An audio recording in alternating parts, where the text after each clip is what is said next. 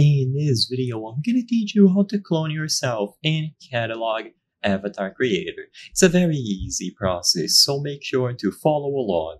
As you can clearly see, I have a clone of myself. It is wearing the same exact outfit as me, including the shirt, pants, the shoes, face, and so on. And you will be able to clone yourself as soon as you type out a specific command. Something that I want to note is that I am doing this on a private server. Sadly, I cannot confirm if this is going to work on public servers as well, but you can easily try. So all that you have to do is join the experience open chat and type slash clone, exactly like this. Then press enter. At first, it will seem like nothing happened, but as soon as you walk away, you will notice that a clone was left in your previous spot, so it is going to copy the exact same pose that you do. So all that you have to do here is type slash clone.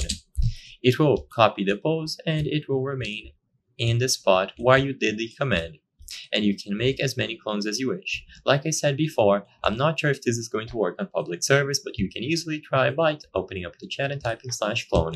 If you want to see more commands, you can also type slash commands and you will see all of them here. So you have a lot of stuff, headless, bodiless, super, super happy face. You can toggle the right legs, left legs, and so on. So there's a lot to explore.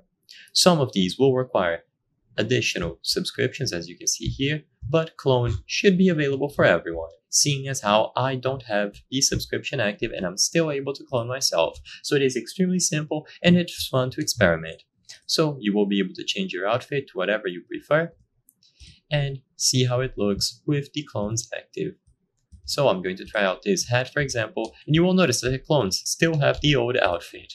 But if I do slash clone again with the new hat that I have equipped, this one will have the different one. So it is a nice way to compare yourself side by side. I hope I was able to help you on how to clone yourself in Catalog Avatar Creator. If this video helped you, please be sure to leave a like and subscribe for more very easy tips. Thank you for watching.